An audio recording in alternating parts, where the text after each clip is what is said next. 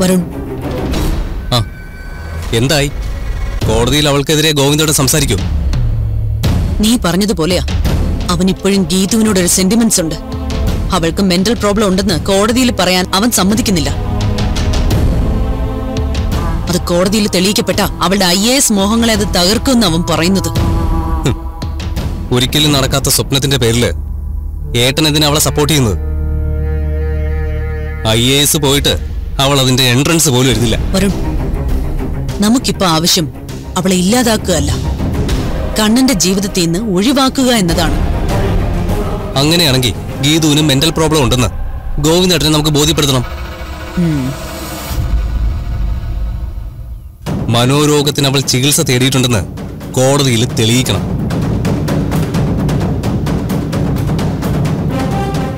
അത് വെച്ച് ഭാവിയിൽ നമുക്ക് അവളുടെ ഐ എസ് ലക്ഷ്യങ്ങളും തകർക്കാം. മനോരോഗിയായ ഒരാൾക്ക് ഏതായാലും ഐ എസ് കൊടുക്കില്ലല്ലോ.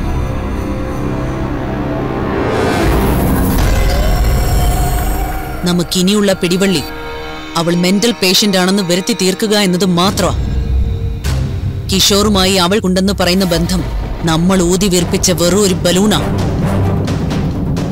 അങ്ങനെ ഒരു ബന്ധവും ഇല്ലായിരുന്നു എന്ന് കിഷോറും ഗീതവും തറപ്പിച്ച് പറഞ്ഞാൽ അതോടെ തീരും.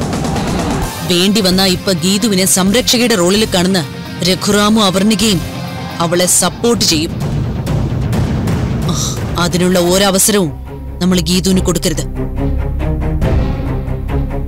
അതുകൊണ്ട്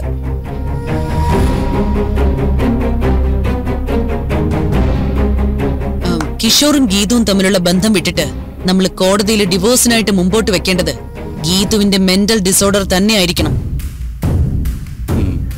അതിനു വേണ്ട കൂടുതൽ തെളിവുകൾ നമ്മൾ ഉണ്ടാക്കണം.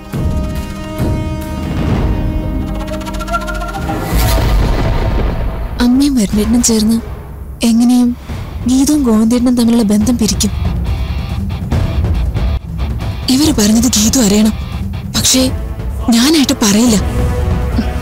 എന്തെങ്കിലും ഒരു മാർഗം അവൾ കണ്ടെത്തട്ടെ.